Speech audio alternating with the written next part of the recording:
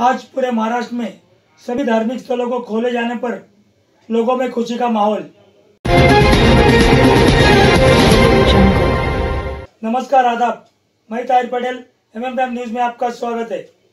आइए चलते कुछ खास खबर की तरफ़। जैसे कि महाराष्ट्र सरकार ने 16 नवंबर को सभी धार्मिक स्थलों को खोलने की अनुमति दी थी। आज 16 नवंबर सरकार के आदेश का पालन करते हुए सैनिटाइजर करके सोशल डिस्टेंसिंग का पालन करते हुए सभी धार्मिक स्थलों को खोला गया। सभी ने एक दूसरे को मुबारकबाद दी और सैनिटाइजर किया गया। आइए देखते हैं किस तरह सैनिटाइजर किया गया।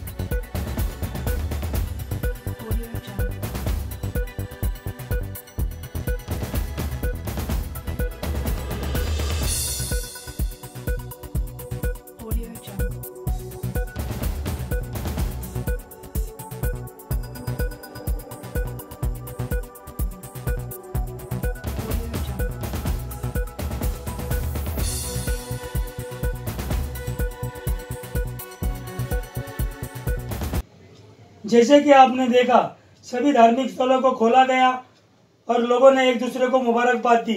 लोगों में खुशी का माहौल देखा गया। मैं ताहिर पटेल आप सबसे इजाज़त लेता हूँ। ऐसी आगे खबरें जानने के लिए देखते रहिए। एम एम टाइम न्यूज़ हम आपके साथ। जय हिंद, जय महाराष्ट्र।